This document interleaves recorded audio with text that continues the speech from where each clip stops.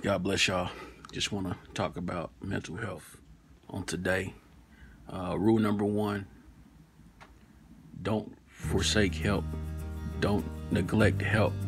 Uh, rule number two watch your environment.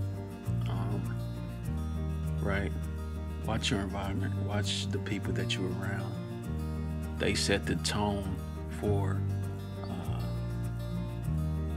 your day sometimes, right? And so watch who you're around. Stay away from negativity. Um, three, get around positive people.